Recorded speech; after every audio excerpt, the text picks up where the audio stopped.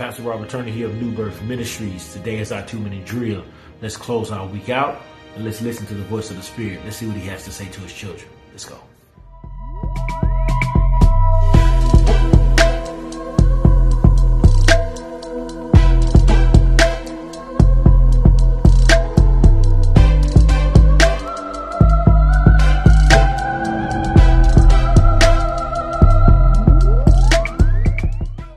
Right, don't have all day, only have two minutes. So let's go to Psalms, the 24th chapter, and I really want to read verse 1. And it says, The earth is the Lord's and everything in it, the world and all who live in it.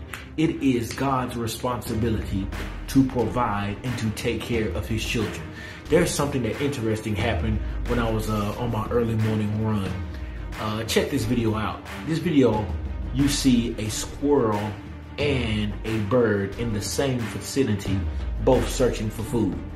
Now, the earth is the Lord's, and everything in it, which is the squirrel and the bird, both belongs to God.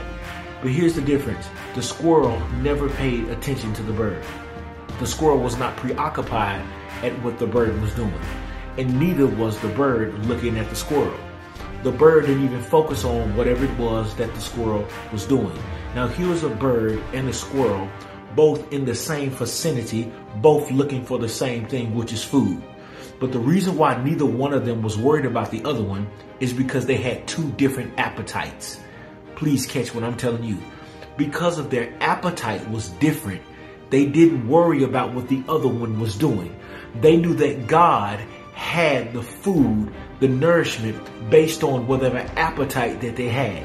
And I'm telling you, just like birds and squirrels and everything on the earth, even us who have dominion over them, God says that if you learn what your appetite, which is your purpose, I wouldn't have to be focusing on what someone else is doing. I wouldn't have to be jealous, envious, or or in competition with someone else because my appetite is not what your appetite is. I'm not after what you are after. I'm after what God has for me. So I want to tell you today, find your purpose. Your purpose is your appetite and let God supply all your needs according to his riches and his glory. That's my time.